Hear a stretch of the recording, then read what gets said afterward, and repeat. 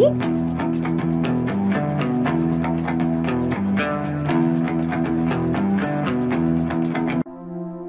guys, welcome back to another video.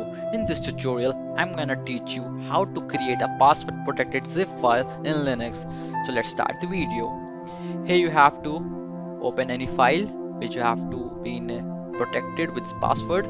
Here we have a hello.txt. Then open terminal. Then go to that folder. And uh, in in such case, we have our file in desktop. So let us ls c hello.txt then you have to type a command zip minus minus password.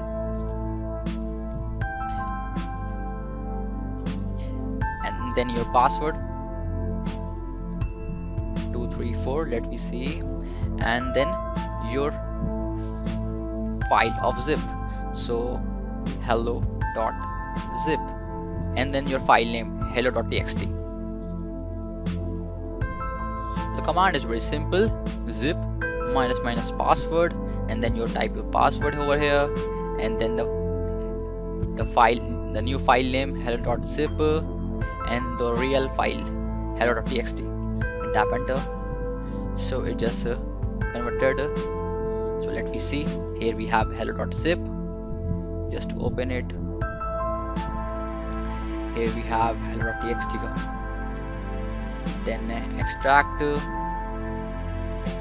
Extract. Then type password.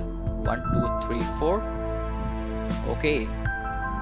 So just successfully completed. Then show the files here we have.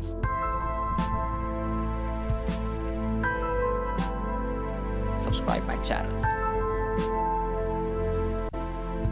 So guys thank you for watching my video. Please do like share subscribe. Thank you. Dada bye. Signing off